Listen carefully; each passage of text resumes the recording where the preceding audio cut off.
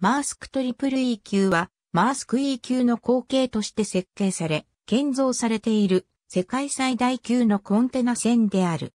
2011年2月、マースク社は大宇造船海洋に合計38億ドルで20隻の受注契約を結んだ。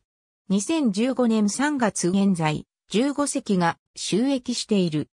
名前のトリプル E とは、 economy of scale、energy efficient、environmentally improved の3つの E から取ったものであり、スケールエコノミー、低燃費、環境性能の向上という設計原理をもとする。これは世界最大であるだけでなく最も高効率のコンテナ船となることを期待されているためである。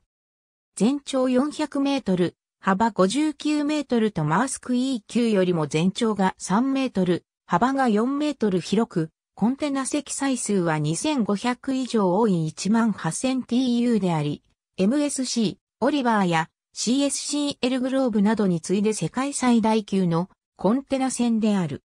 同船の設計上の主な特徴の一つは、4万3000馬力を発揮する2機の超ロングストロークディーゼルエンジンが2つのスクリューを駆動し19ノットの設計速度で航行することである。